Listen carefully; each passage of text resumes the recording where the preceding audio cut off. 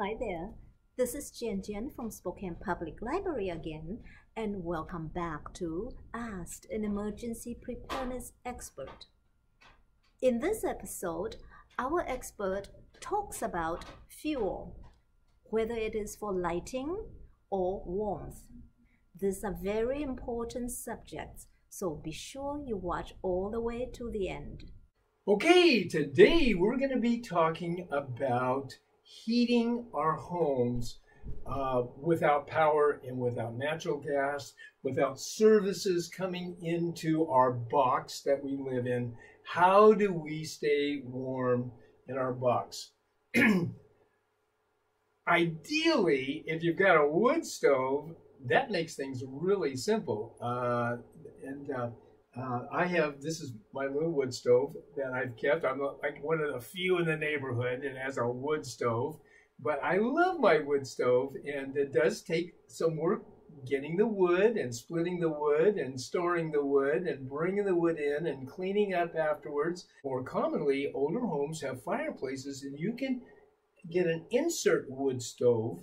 And if you choose to do this, very important, you have a shelf that you can boil water on, you can cook on. So it's not just heat, it is your survival stove. Uh, very important that you do that. Here's uh, a former student of mine on the South Hill here in Spokane that had an old home, and boy, he put in this Lopi.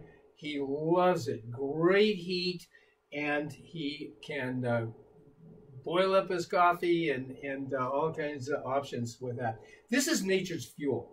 Uh, every year, jillions of tons of wood is manufactured out there in the forest by the sun. And, uh, and trees die and they fall and we use it. And that's how mankind heated for thousands of years. Man used the natural fuel in the forest. And so having a stock of this is uh, very wise. Now, this is not an option for many of you. And uh, your place is small, you don't have a fireplace, maybe you don't have the money to put in uh, a wood stove. So here is one option that's been used for many years, and that's the kerosene heaters. Uh, they put out a lot of heat. Uh, they're excellent. Uh, and some of you that may have used these, you know, you don't start these in your house. You start them out on the patio, outside on the porch, and you get these lit and going where it's really hot.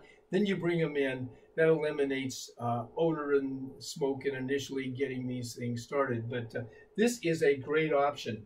Uh, they can throw out, you know, uh, uh, thousands of BTUs and heat a, a, room area very adequately, even when it's cold.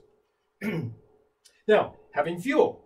Uh, if you've got if you've got the heater and you have no fuel, uh, that uh, uh, that does happen. Uh, believe it or not, people will uh, get these emergency items and not have the batteries for them, or not have the fuel. You want minimum 25 gallons of fuel, and I would say that would be minimum, so you can go several months without heat or, or without services providing heat to be able to keep your, your home warm. Now, the next option is the propane heaters. Uh, propane is uh, clean burning. The fuel lasts uh, almost indefinitely, in a sense. We'll talk about that. Uh, and uh, there's several options uh, of propane type heaters, and this is just one common one you can buy all over Spokane. many of the stores in the wintertime will sell these uh, Mr. Heater uh, propane uh, type heaters. If you're going to burn these inside, get the hose that is a low pressure hose that goes to your propane tank. So you bring your propane tank in, you have the low pressure hose. These heaters are made for indoors and they will actually shut off. If it becomes dangerous, boom, they automatically quit. And I've had that happen uh, in a TV one time. Um, so here's one set up and it's ready to go. Now, not as many BTUs as your kerosene heaters. Uh, this would be a smaller room that you're you're keeping warm uh, and such, but uh, they work real well. Now, this is a little outdoor heater that uh, some people uh, purchase for maybe a part of their house where they're not living, but in extreme cold, they're going to keep their plumbing warm. Uh, back in a corner or a bathroom or a laundry room or whatever. And uh, uh, that also is a heating option that you may want to consider. So, propane fuel lasts indefinitely. Propane itself, just three little carbons with some hydrogen on it. Uh, uh, it, it will last forever. Now, containers may not last forever. So, if you purchase a new container, fill it with propane, and keep it in your house. And I talked to the fire marshal, and he said it's perfectly okay to have uh, propane sealed containers inside your home.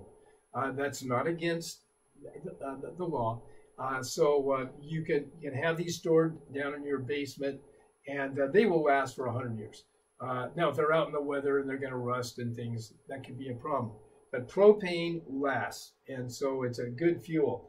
You can also get these smaller little one pound propane uh, containers. Now, if there's any kind of an emergency, this stuff disappears. You want to store fuel. You want to have fuel for at least three months uh, in your home. My wood stove, I have at least going into winter, at least uh, three quarts. I have more than that, but at least three quarts. Uh, if, if, if I have um, a uh, kerosene heater, I, I want to have that kerosene. I want to have propane. I want to have uh, this available, so I do not worry about finding it. now, in review, we're looking at wood stove fireplace insert. That's the best.